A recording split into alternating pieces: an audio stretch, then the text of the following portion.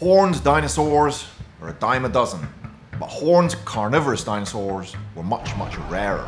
Pop culture, we're already familiar with Carnotaurus and Ceratosaurus, both appearing at some point in the Jurassic Park movie franchise. But were there others? So let's explore seven horned carnivorous dinosaurs. Let's begin. Number seven, Proceratosaurus. Proceratosaurus is a small carnivorous theropod dinosaur, around 3 meters in length, from the Middle Jurassic Bathonian of England. Must have drank tea. Okay, that was a shit cliche joke. It was originally thought to be an ancestor of Ceratosaurus, due to the similar small crest on its snout. Now, however, it's considered a Coelurosaur, specifically one of the earliest known members of the clade Tyrannosauroidea. Number 6. Genyodectes. Genyodectes, meaning jaw bite, from the Greek word genys, meaning jaw, and dektes, meaning bite, is a genus of ceratosaurian theropod dinosaur from the Aptian stage of South America. It's known from fragments of bone, but there is a high chance it was closely related to Ceratosaurus. In 2016, it was estimated to be 6.25 meters in length and 790 kilos in weight. Number 5. Dracovenator. Dracovenator is a genus of Dilophosaurid theropod dinosaur that lived approximately 200 million years ago in what is now South Africa.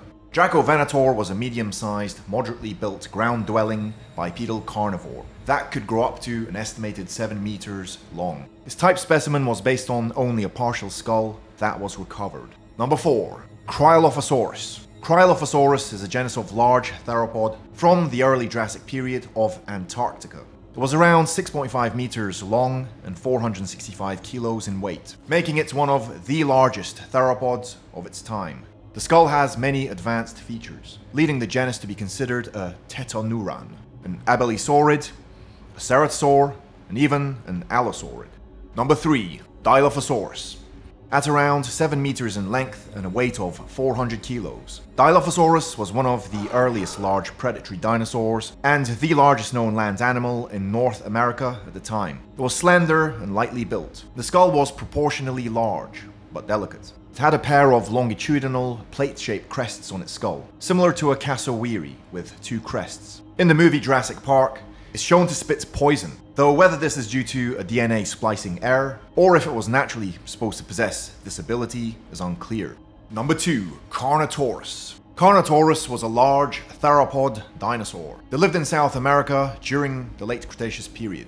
The only known species is Carnotaurus sastrae, Carnotaurus was a lightly built bipedal predator, measuring up to 9 meters in length and weighing at least 1.35 metric tons. As a theropod, Carnotaurus was highly specialized and distinctive. It had thick horns above its eyes, a feature unseen in all other carnivorous dinosaurs, and a very deep skull sitting on a muscular neck. Carnotaurus was further characterized by small vestigial forelimbs and long slender hind limbs. The skeleton is preserved with extensive skin impressions, showing a mosaic of small, non-overlapping scales approximately 5 millimeters in diameter.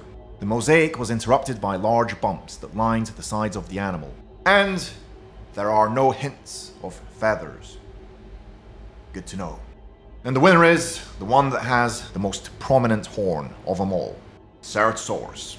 Ceratosaurus was a medium-sized theropod. The original specimen is estimated to be 5.6 meters long, while the specimen described as C. dentisulcatus was larger at around 7 meters long. Ceratosaurus was characterized by deep jaws that supported proportionally very long blade-like teeth, a prominent ridge-like horn on the midline of the snout, and a pair of horns over the eyes. The forelimbs were very short, but remained fully functional, and the hands had four fingers, almost human.